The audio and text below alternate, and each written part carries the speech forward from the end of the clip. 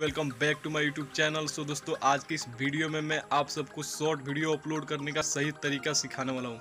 बहुत सारे लोगों का पता नहीं होता है, वो लोग शॉर्ट वीडियो बना लेते हैं, लेकिन जब वो यूट्यूब पे या जहाँ पे भी शॉर्ट वीडियो को अपलोड करते हैं, वहाँ पे उनको मतलब सही तरीका पता नहीं होता है। वो जिस तरह भी मतलब उसको अपलोड कर देते हैं और बाद में क्या होता है, उनको वीडियोज़ पर व्यूज़ नहीं आता है तो वो लोग बहुत ही ज़्यादा परेशान हो जाते हैं कि आखिरकार मेरे वीडियोज़ पर व्यूज़ क्यों नहीं आ रहे हैं। और बहुत सारे लोगों का जो शॉर्ट वीडियो होता है वो बहुत ही ज़्यादा वायरल हो जाता है।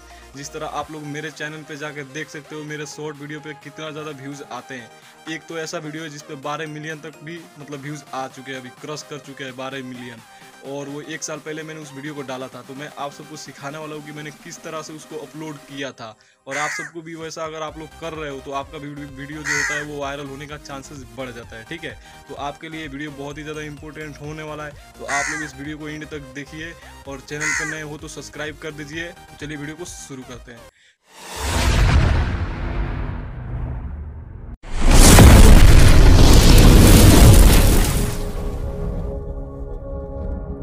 So, दोस्तों सबसे पहले आप सबको एक शॉर्ट वीडियो बना लेना है ठीक है? और उसको ऐसे साउंड पर बनाना है जिस पे मतलब कॉपीराइट ना आए। जो मतलब नो कॉपीराइट वाला साउंड हो उस साउंड पे आपको बनाना है ठीक है? और पुराने से पुराने साउंड पे अगर आप लोग बना रहे हो तो कॉपीराइट नहीं आता है। अगर नया साउंड पे बनाओगे तो वो बहुत ज़्यादा कॉपीराइट मतलब बहुत जल्दी आ जाता है ठीक है? तो आपको मतलब एक पुराना साउंड पे बनाना है जिस पे कॉपीराइट ना आए। क्योंकि ऐसा होता है, बहुत सारे लोग मतलब साउंड पे वीडियो बनाते हैं टिकटॉक या कहीं का भी मतलब शॉर्ट वीडियो लिया के अपलोड कर देते हैं, उसके बाद में उनके वीडियो पे तुरंत कॉपीराइट आ जाता है। तो कॉपीराइट आने से क्या होता है इसकी आपका वीडियो का जो रीच है, वो घट जाता है, वो मतलब ज़्यादा से ज़्यादा लोगों तक तो नहीं जाता है, ठीक है? तो आपको कॉपीराइट वाला साउंड पे वीडियोज़ बनाना ही नहीं है। आपको यूनिक साउंड पे वीडियो बनाना है, जिस तरह मैं बनाता हूँ, हालाँकि मेरे साउंड पे भी कॉपीराइट आ जाते हैं तो जिस पे कॉपीराइट आ जाते हैं ना तो तुरंत से नहीं आते बहुत दिन, एक साल, दो साल के बाद उस पर कॉपीराइट आए हैं।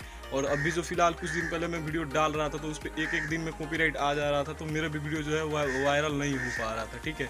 उस पर सौ या फिर पचास इतना ही व्यूज़ आ रहा था शॉर्ट वीडियो पे तो मैं उस वीडियो को डिलीट कर देता था। लेकिन हाल फ़िलहाल मैंने आज एक वीडियो डाला, उस पर कॉपी वाला साउंड नहीं है, वो हिंदी का पुराना सॉन्ग है तो उस पर मैंने डाला तो एक ही घंटे में उस पर पाँच सौ मतलब व्यूज़ आ चुके हैं।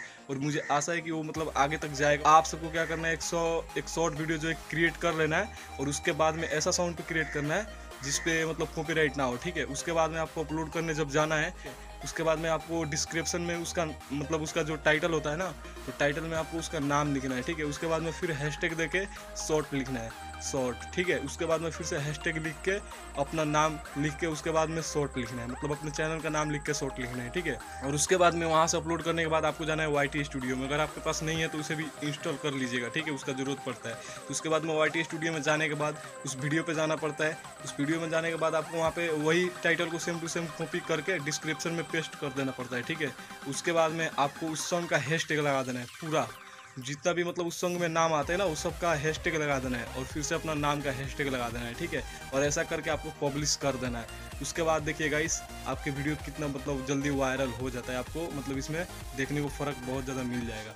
तो वीडियो पसंद आता है तो लाइक कर दीजिए चैनल पर नहीं हो तो सब्सक्राइब कर दीजिए। मिलता है अगले नेक्स्ट वीडियो में।